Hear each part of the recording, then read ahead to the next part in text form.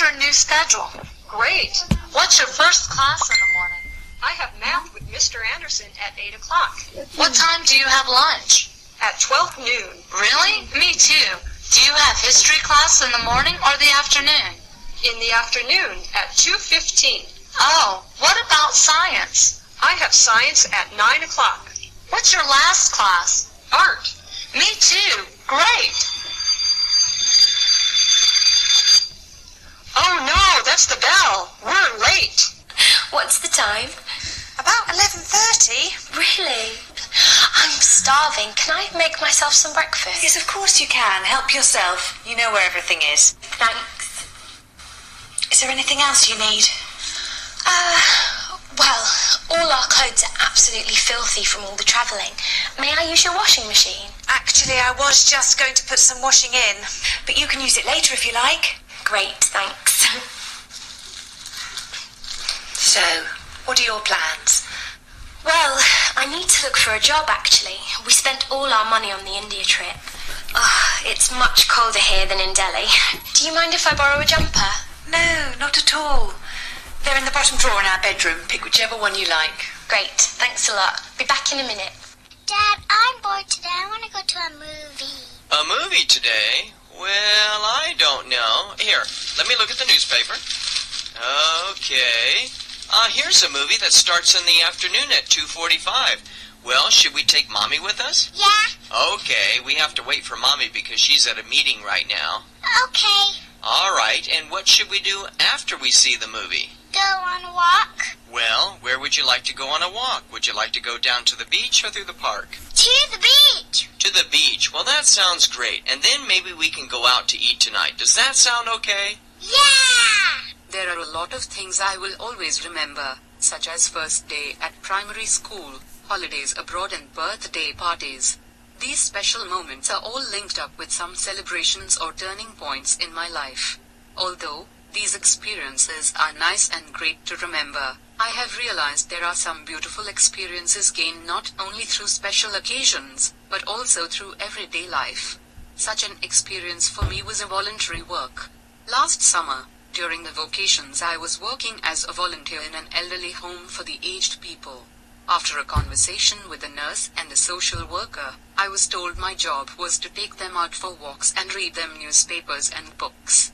All that might sound a bit boring, but just after a few days it turned out to be quite different. The elderly people accepted me as if I was their friend. They have told me their life stories and achievement. They gave me many advice and warned me from dangers that youth can bring. I have learned so much from them. This was an interesting experience. I was taught about life a lot. And some of them who do not have many visitors, I was the only one who they could talk to. I gave them feeling of care and support and they have showed me that with great appreciation. However, I found out that it was them and their gratitude what made me so happy. We've got a free morning tomorrow. What shall we do? Why don't we go on a tour? Hmm, I prefer to explore things on my own. It's more fun, and you get to meet local people. Maybe, but we haven't got much time, and a tour is a good way to see the sights quickly, don't you agree? Look, here's a leaflet for a city jogging tour. That sounds interesting, but the weather forecast isn't great, and I don't fancy running in the rain. Okay, but I still think we should go on a tour. Look, here's another one. It's called East End Explorer, and there's a local person as the tour guide. So we would get to know local people. Yes, and you can go shopping too. Okay, you've persuaded me. Let's book it. Great. You won't regret it. You have any openings today for an oil change? Yes, we have an opening at 5.30.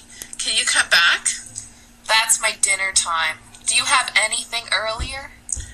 Um, we have 3.30 tomorrow afternoon. That works for me. How much do you charge? It's $49.95 for regular and $89.95 for deluxe. Okay, I'll take the regular. See you tomorrow. Now the general weather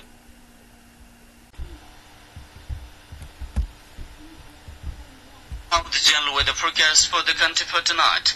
The Meteorological Forecasting Division has forecast the weather to be partly to generally cloudy in Province 1 and Madhesh Province, along with the hilly region of the country, and it will be partly cloudy to mainly fair in the remaining parts of the country. Similarly, light rain or thunder and lightning are also likely to occur at a few places of Province 1, Madhesh Province, and at one or two places of the high hilly region of the rest of the provinces. Did you have a good time?